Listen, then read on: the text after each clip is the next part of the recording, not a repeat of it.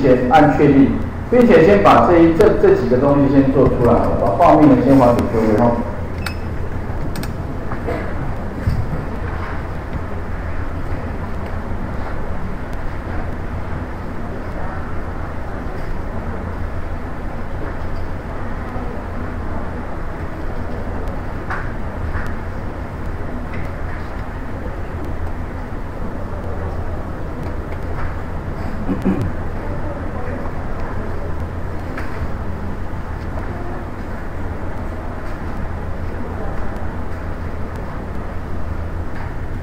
加入这个圆之后哈，那还要再加三角形呢。特别注意就是在这里啊，请你再建立一个新图层。那建立新图层呢，在图层里面呢，它有所谓的图层的概念。那每一个图层之间呢都是独立的。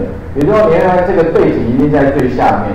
那再来的话就是这个圆嘛，对不对？啊，圆跟三角形，它们如果要把它分开的话，建这个地方呢就要建立所谓的新的图层，再去画那个三角形。否则，圆跟三角形会在同一个图层，变你移动的话，它会一起移动，你没有办法再做后续的其他处理啊。那再来一样的方式呢，就是在这里啊，三角形直接呢选一个三边的，那颜色记得啊，是从这边去做更改哈。那预设的话呢是黑色的，所以你在你在这里的话呢，记得就把它改成白色，再去做画一个三角形的形状。那三角形你就拖拉出一个三角形啊。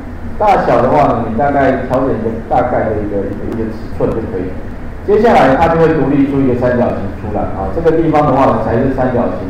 那接下来我要把这个三角形做什么？做一些放大缩小的话啊，你们可以看到在那个在编辑里面有个所谓的变形，这个任意变形有没有？那我建议你们可以把这个指令啊记下，稍微记一下，快速键就是 Ctrl 加 T。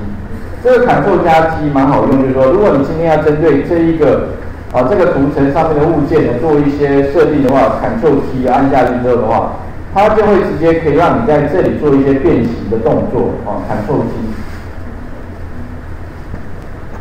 好，Ctrl T 按下去之后，你会发现呢，这时候哈，